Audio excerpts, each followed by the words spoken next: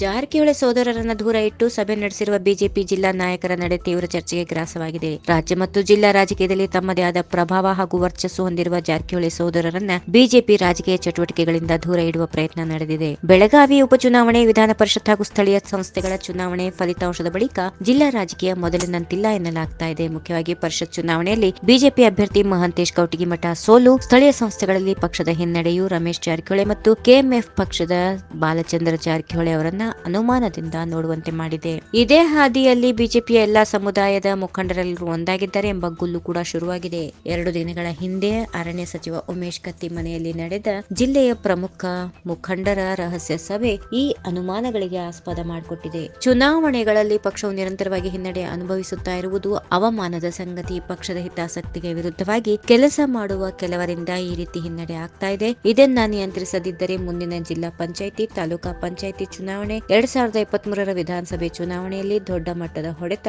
ಖಚಿತ ಎಂದು ಅಭಿಪ್ರಾಯಪಟ್ಟರು. ಕೆಲವರು ಪಕ್ಷದಲ್ಲಿದ್ದುಕೊಂಡೇ ತಮ್ಮ ಸ್ವಹಿತಾಸಕ್ತಿಗೆ ಅನುಗುಣವಾಗಿ ಕೆಲಸ ಮಾಡ್ತಾರೆ. ತಾವೇ ಬಿಜೆಪಿಯನ್ನ ಸೋಲಿಸಿ ಬೇರೆಯವರ ತಲೆಗೆ ಕಟ್ಟುವ ಪ್ರಯತ್ನ ಮಾಡುತ್ತಾರೆ ಎಂಬ ಆರೋಪ ಸಭೆಯಲ್ಲಿದ್ದ ಕೆಲವು ಮುಖಂಡರಿಂದ ವ್ಯಕ್ತವಾಯಿತು. ಈ ಕುರಿತು ರಾಜ್ಯ ಮಟ್ಟದ ಮುಖಂಡರ ಗಮನಕ್ಕೆ ತರಬೇಕು. ರಾಜ್ಯ ಮಟ್ಟದ ಮುಖಂಡರ ಸಮ್ಮುಖದಲ್ಲಿ ಗಂಭೀರ ಚಿಂತನೆ, ಚರ್ಚೆ ನಡೆಸಲು ಶೀಘ್ರದಲ್ಲಿ ಕ್ರಮ ವಹಿಸಬೇಕು ಎನ್ನುವ ನಿರ್ಣಯ ಕೈಗೊಳ್ಳಲಾಗಿದೆ. ಈ ವಿಡಿಯೋ ನಿಮಗೆ ಇಷ್ಟವಾದಲ್ಲಿ ಲೈಕ್ ಮಾಡಿ, ಶೇರ್ ಮಾಡಿ, ಸಬ್ಸ್ಕ್ರೈಬ್ ಮಾಡಿ.